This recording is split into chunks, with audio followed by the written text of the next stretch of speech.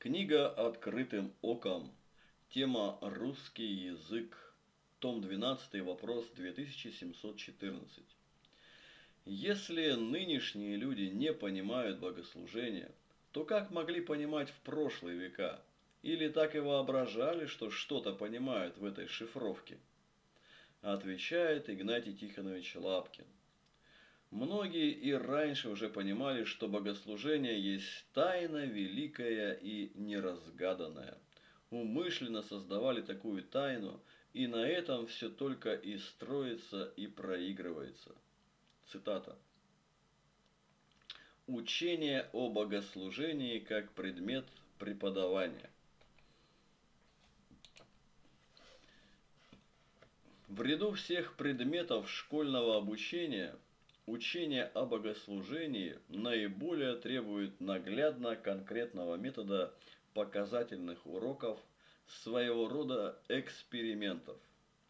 Богослужение – душа религии, ее живое выражение, наиболее трогающее сердца, изумительно крепко укореняющееся в людях.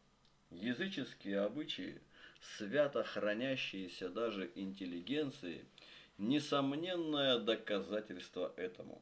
В православном богослужении общение с Богом, величайшее таинство Евхаристии, связующее человека с миром горним, в богослужении красота, пластическая, жизненная и потому наиболее популярная. И рядом с этим приходится констатировать, что обучение этой науки в средней школе представляет сухую, безрадостную пустыню, в которой ни капли росы или освежающего душу благоухания. Так что иногда ни слова не поймешь. Жалуются на катехизис Видно, не заглядывали никогда в книжки, трактующие о богослужении. В последнее время появилось еще несколько книжек. Думалось, в новых повеет духом иным. Но после этой надежды лишь горше было разочаровываться. Ко мне подходят два малыша, гимназисты, третьеклассники, с книжкой о богослужении, с просьбой разъяснить им урок беру и каждый раз смущаюсь. Что же я стану объяснять им, когда здесь нечего объяснять? Все слишком просто, мертво для объяснений. Эти-то вопросы навели меня на предлагаемые размышления. Изумительно прежде всего расположение частей курса. Какая-то анатомия богослужения – все схоластически расчленено до того, что становится нестерпимо больно от этой мелочной классификации, мучительной терминологии с еще более мучительными объяснениями. На своем месте, где данная принадлежность имеет употребление, она запомнилась бы красочно ярко. В реестре, какими начинаются книжки о богослужении, ярки только пояснения. Цитата. «Храмы строятся в виде креста, круга, корабля, звезды». Укажите, о законоучители, такие храмы, которые без натяжки подходили бы под эти символы. И ответьте на вопрос ребенка – какой вид имеет Казанский собор в Петрограде и что этот вид символизирует. Символы, символы. Какая глубина в символе реальном, действительно ощущаемом. Аль креста на тебе нет. Чай христианин тоже, укоряет собрата наш крестьянин, и в этом такая глубина понимания символа – но умножать символы значит вводить чуть не кощунственный элемент в святыне. Амвон знаменует камень, отваленный от гроба, с которого ангел возвестил мироносицам о воскресении Иисуса Христа. А количество куполов на храмах, неужели в самом деле в этом тоже есть символ? Что же означает храм с двадцатью двумя или двадцатью четырьмя головами, о существовании коих могут узнать ученики? Да простит мне один из выдающихся и, несомненно, благоговейных литургистов, профессоров Академии, что я вспоминаю его слова. Цитата. «Если свеча, предносимая пред Евангелием на малом входе, означает Иоанна Крестителя, то позволительно спросить, что или кого означает священосец и рука его, в которой он несет свечу. Символизм в богослужении – великая святыня, и применять ее куда попало нельзя. Такой авторитетный ученый, как профессор А.А. А Дмитриевский, указывает на необходимость очищения нашего учения о богослужении от ненужных истолкований в символическом смысле того, что создавалось историческими условиями как случайность и имела в свое время исключительно практическое значение. Этим только углубится понимание подлинно символических элементов, и самое понятие символа получит более серьезный характер. Все эти речи о принадлежностях богослужения напоминают мне тоже, как если бы кто вздумал ознакомить учащихся ранее знакомства с Пушкиным, с селом Михайловским, Царскосельским лицеем и тому подобное. Все это легко и сердечно запоминается, когда связывается с переживаниями, сопровождается живыми опытами. Иначе все сводится к каталогу, хотя бы и иллюстрированному. Конкретный характер часто пытаются придать учению о богослужении рисунками, таблицами. Напрасная затея. Все это принадлежности, а не суть. И потому души, содержание они не скрывают. И потому души, содержание они не вскрывают. Душа в самом богослужении – совершаемом в храме. Удивительно, что и изложение богослужения новейшие книжки стали иллюстрировать картинками. Я допускаю даже, что это подлинно художественные картины, а не та безвкусная, чуть не кощунственная мазня, которую, которая угощает наши школы издательства Сытина. Конечно, издатель ни при чем. Неужели можно картинку что-то пояснить? Это не стихотворение, не рассказ, не драматическое произведение. Здесь все в самом акте, в духе его, не передаваемом никакими техническими способами. Надо показать в самом богослужении. Здесь новая трудность учение о богослужении расходится с практикой. В начале литургии поются не псалмы, а самое большее 5-7 стихов. Первый час обходится почти везде без псалмов. Получается из преподавания один результат – возможность убедиться в том, что теперь богослужение значительно значительно сокращается, и то, что должно быть, не исполняется. То, что исполняется, также не удовлетворяет показательным целям. Богослужение должно влиять и на мысль, и на чувство. В нем должна быть идея и проникновенность. Ни того, ни другого чаще всего не бывает. Чтение никогда не сопровождается оттенками чувства. Не говоря уже о диаконстве, которому писан один закон бесчинными воплями оглашать воздух, для чего и сами владыки протежируют только голосистым диаконам. Ни священники, ни псаломщики не знают чтения с оттенками чувства, не театральными, а проникновенными, в которых отразились бы хотя такие основные элементы, как покаяние и смирение, дерзновение и хвала, основные мотивы шестопсалмия. Прислушайтесь к молитве стоящих у входа в храм простецов, к их вздохам и воззваниям. Какая сила, какая настроенность! Прислушайтесь к южному, только не искалеченному. Слава Вышних Богу! Вот воздыхание сердечное чтение. Пение только рельефнее выделяет манеру чтения. И еще обиднее – отсутствие идейности в нашем сокращенном богослужении.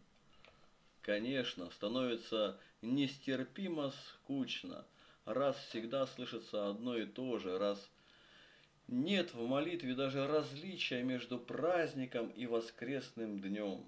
Вычитывая все шестопсалмия, все малые ектеньи, священнослужители – с легкою душою опускают содержание данного дня.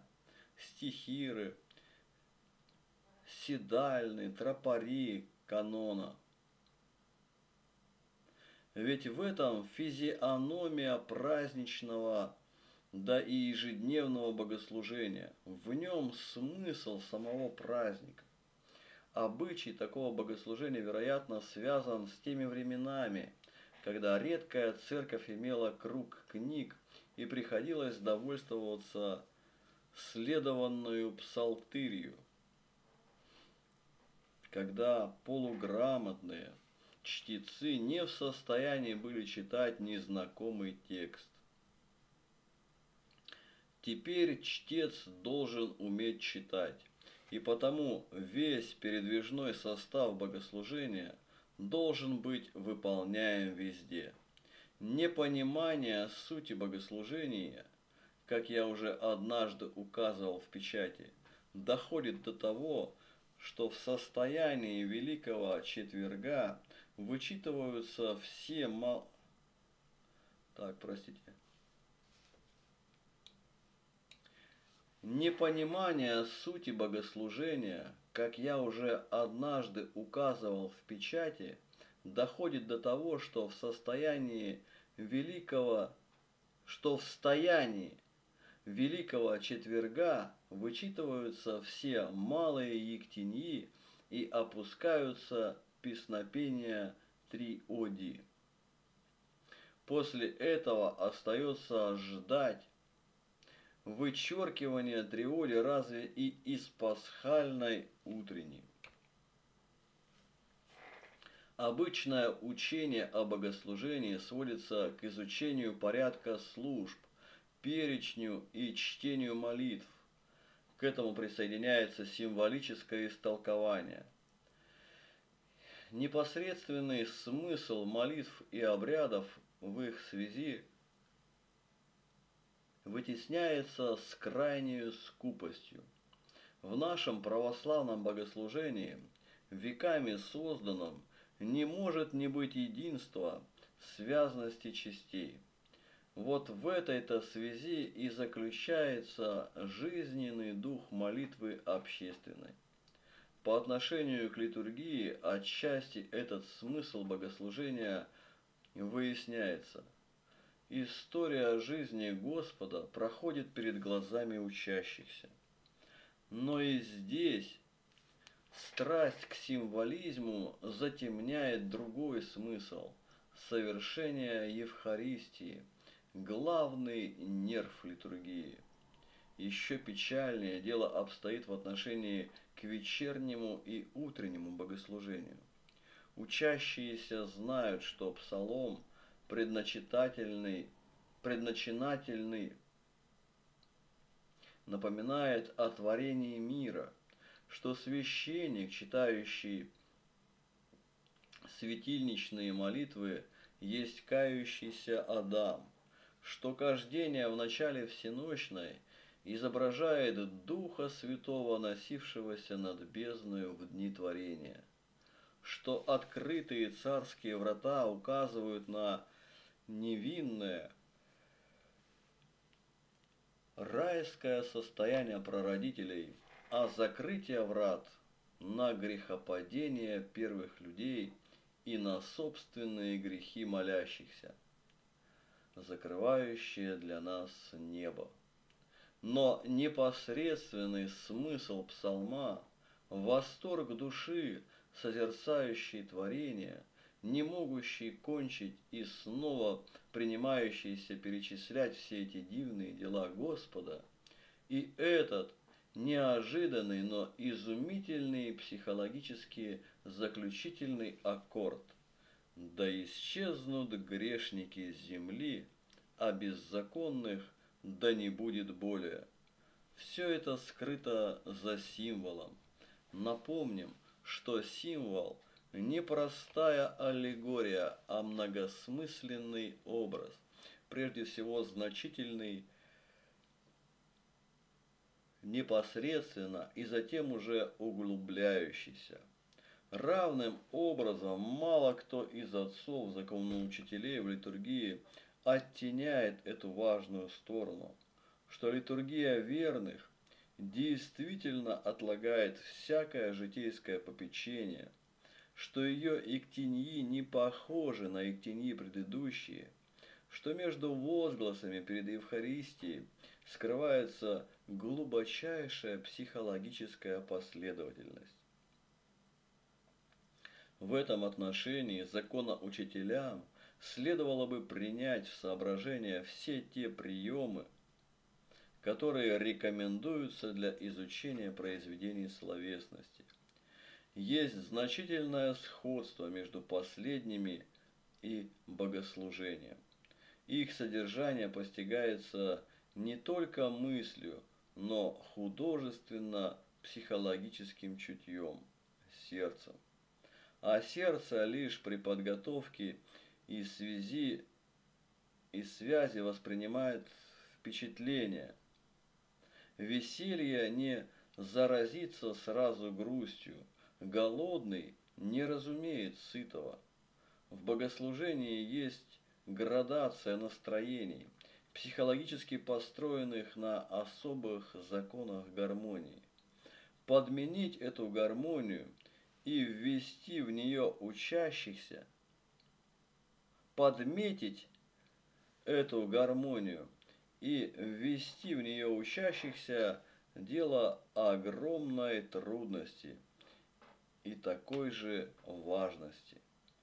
Только таким образом можно не только показать богослужение, но и вложить любовь к нему и сознание его ценности. Конечно, все это штрихи, наброски, все это может быть разработано в форме целой методики с точным указанием многих приемов, как дают методику художественного чтения. Необходимы также и соответствующие пособия. Не картины, не планы, а извлечения из художественных произведений, иллюстрирующие молитву, раскрывающие силу ее и ее смысл. Можно ли лучше выяснить смысл чина православного погребения, чем с лечением этого чина сапухтинским рекви, реквие, реквиемом, в котором столько молитвенного и проникновенного, проникновенного понимания момента смерти. Нигде не сказывается так сухость современной постановки преподавания закона Божия, как в учении о богослужении. Здесь более всего поэзии, теплоты, жизни, богослужения, тела религии. Его легче всего показать осязательно. Вероучение, особенно в сжатом изложении, несомненно, оживить труднее. И сухость здесь не оттолкнет от веры, но черствое, бездушное преподавание богослужения налагает на всю жизнь отсутствие понимания православной молитвы. А ведь быть без молитвы значит быть без религии. И не от такого ли преподавания в духовной школе зависит то обстоятельство, что иные пастыри видят в богослужении не радость, не умиление, а нудный подвиг, вызываемый необходимостью.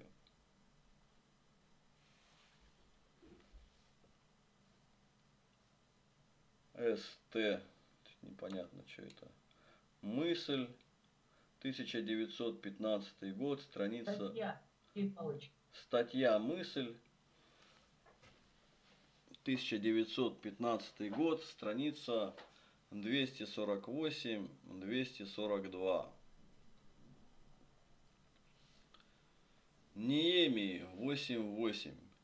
И читали из книги, из закона Божия внятно, и присоединяли толкования, и народ понимал прочитанное. 1 Коринфянам 14.11. Но если я не разумею значения слов, то я для говорящего чужестранец, и говорящий для меня чужестранец. Когда молитва искренно идет, не по привычке топчемся привычно, тогда мы рвемся к Богу, и слова взахлеб, а не абы куда их сонно тычем. Бог Саваоф не дремлет пресносущий, Душою ощущаем и без доказательств. Сам Дух Святой молиться нас научит, Как для полета растопырить пальцы. Под небом звездным, куполом ночным, Величие Творца неизмеримо, Словами восхищенными почтим – эпитетов найдем весьма старинных. Кружение мыслей мелких без словес да сгинет, да исчезнет безвозвратно. Борьба смертельная, рубеж проходит здесь, а сатанелый недруг прет на нас нахрапом. Молитвенное правило есть посох. Неопытным – в таинственных борениях, когда свои слова заносит косо, на каждой запятой лукавый кренит. У гроба близких временная зрица, отчетливой щита бездушных дел, неузнаваемые, милые нам лица под крышкой гробовой нашли всему предел – сопровождаем мысленно ушедших, а так ли это там, не нам судить. Слезами внутренне слова мои прошепчем, не их, себя пытаясь подкрепить. Молитва